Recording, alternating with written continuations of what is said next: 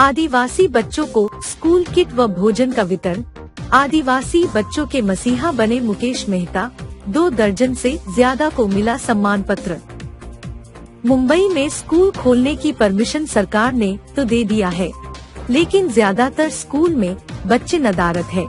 करीब डेढ़ साल से बंद स्कूल के खुलने से बच्चों के अलावा उनके अभिभावकों को भी काफ़ी दिक्कत का सामना करना पड़ रहा है।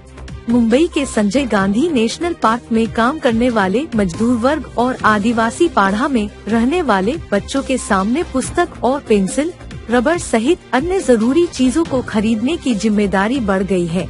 इसी को पूरा करने के लिए माँ शिवानी रंग अमरनाथ चैरिटेबल ट्रस्ट के मुंबई अध्यक्ष मुकेश मेहता आर इंडिया अध्यक्ष। मिलिंद वैद्य, सचिव कौस्तुभ भागवत और हरी भाई भट्ट और टीम के द्वारा किया जा रहा है। इस मौके पर संजय गांधी राष्ट्रीय उद्यान में रहने वाले सभी पारा के आदिवासी गरीब बच्चों को मसालेदार खिचड़ी, समोसा, बिस्किट और डॉय फ़ूड से बना सिरा जैसे स्वादिष्ट भोजन की व्यवस्था व वितरण किया गया। स्वादिष्ट भोजन दलपत महाराज और उनकी टीम द्वारा बनाया गया है। इसके अलावा पिछले कई वर्षों से संजीव नारियालवाला की बहन उमाबेन और उनके बेटे नोएल क्रिश्चियन लगातार ऐसे सेवाएँ चलाने में मदद करते हैं। वितरण में सहयोग के लिए संस्था सुहाना सफ़र के अध्यक्ष केतन शाह मनीष पांचाल और मुकेश मेथा का विशेष योगदान है। अरविंद भाई बहुत अच्छे इंसान थे बहुत अच्छे कलाकार थे और आ, आ, मैं एक साल से यही कोशिश में थी कि मैं उनको जाकर मिलूं, क्योंकि बहुत समय से नहीं मुलाकात हुई थी। लेकिन अनफॉर्चुनेटली मैं उनको देख नहीं पाई और अभी भी यहाँ पे मैं हूँ, लेकिन दर्शन नहीं मिला मुझे। लेकिन मैं जानती हूँ, अरविंद भाई जहाँ पे भी होंगे खुश होंगे एंड उनकी आत्मा को ज़रूर भगवान शांति देंगे। एंड एक बहुत अच्छे इंसान और एक अच्छे कलाकार को हमने खोया है। और आ, लगता है कि रामायण इनकम्प्लीट लगता है रावण के बगैर। तो मुझे लगता है कि आ, जिस तरीके से अरविंद भाई ने ये भूमिका निभाई है वो कोई नहीं कर सकता है। तो बस भगवान उनकी आत्मा को शांति धन्यवाद। से जो रामायण के फ़ेमस फ़ेमस कलाकार उनका नाम हुआ आज रामायण जो कहा करते हैं हुआ है। काफ़ी दुख की बात है। जी। जी एक्चुअली तो मैं आ, सच बताऊँ तो मैं उनको बहुत बहुत पहले से जानता हूँ और जानता था और वो एक फैमिली मेंबर जैसे थे। और मतलब दुख तो बहुत ही हुआ है सबको कि इतना अच्छा किरदार मेरे हिसाब से रावण का जो उन्होंने रोल किया था ऐसा दोबारा कभी कोई कर भी नहीं सकता क्योंकि वो इतना इम्पैक्ट छोड़ गए थे ऑडियंस पे, उनकी फ़ैन फॉलोइंग्स इतनी थी।